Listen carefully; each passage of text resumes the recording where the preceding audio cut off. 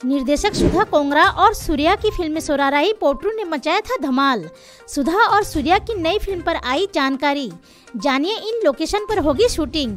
Film सोराराई Pottru को दर्शकों ने काफ़ी पसंद किया था। यही वजह है कि सूर्या की इस फ़िल्म की हिंदी रिमेक भी बनाया जा रहा है।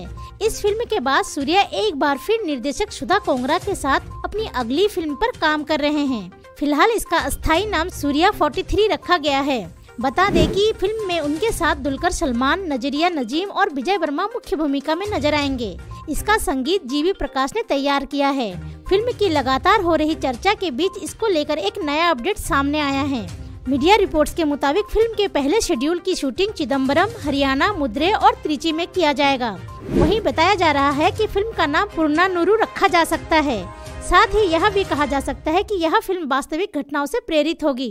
फ़िल्म की कहानी मदुरै के एक गैंगस्टर के बारे में बताई जा रही है, जो अपने करीबी लोगों से उनके साथ किए गए बुरे व्यवहार का बदला लेता है। सुधा कोंगरा पहले ही खुलासा कर चुकी है कि यह फ़िल्म जीवनी नहीं है, बल्कि वास्तविक जीवन की घटनाओं पर आधारित है। वहीं वर्क फ्रंट की बात करें तो सूर्या इन दिनों फ़िल्म कांगुआ को लेकर व्यस्त चल रहे हैं। वे इन दिनों फ़िल्म के डबिंग के काम में लगे हुए हैं। शिवा के निर्देशन में बनी यह फ़िल्म एक पीरियड एक्शन ड्रामा है। फ़िल्म की शूटिंग जनवरी में पूरी हो गई थी। फ़िलहाल इसके पोस्ट प्रोडक्शन पर काम चल रहा है। इसे इस साल के बड़े पर्दे पर रिलीज़ करने की संभावना है। फ़िल्म में सूर्या के साथ दिशा पाटनी, बॉबी देओल मुख्य भूमिका में है।